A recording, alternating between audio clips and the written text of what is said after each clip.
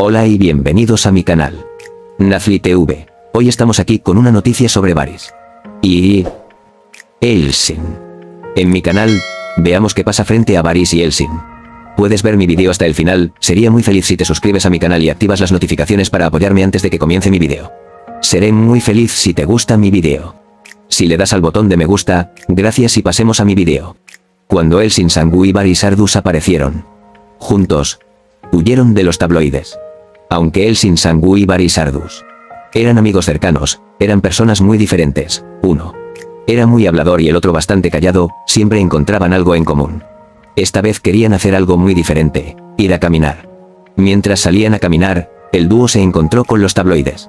Cuando se acercaron a los tabloides, Elsin y Varys se detuvieron de repente y se sorprendieron mucho. Cuando escucharon a los tabloides hablar entre ellos, se dieron cuenta de que el tema del que hablaban los tabloides era escuchar sus conversaciones, Elsin y Varys.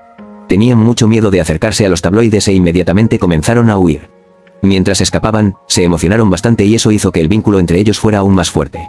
Cuando estaban más lejos de la revista, Elsin Sangu y Varys Ardus todavía sentían que el vínculo entre ellos se estaba volviendo más fuerte. Su confianza y amistad crecían día a día.